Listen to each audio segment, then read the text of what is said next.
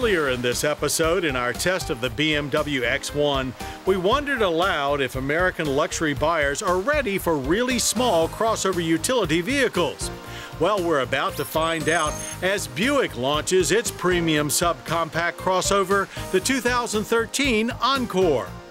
Buick, hoping for a repeat of the success of the near full size Enclave, has provided Encore with many of the styling cues of its much larger and much thirstier brother.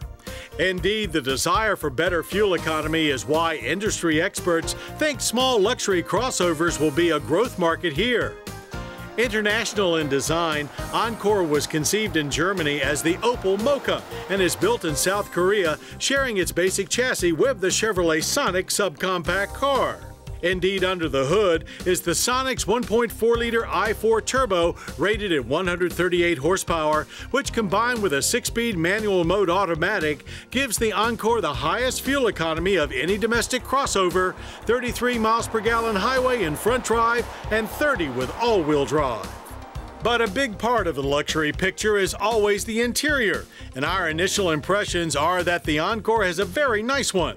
The five seat layout is surprisingly sporty with hooded and binnacled gauges, plus tasteful splashes of chrome and wood trim. Legroom is fairly generous in front, adequate in the rear. Seat down cargo room maxes out at 48.3 cubic feet.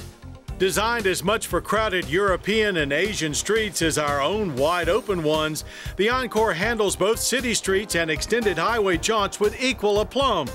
Ride is not as cushy as the Enclave, but it seems nearly as quiet. Encore is arriving at dealers now with prices starting just under $25,000.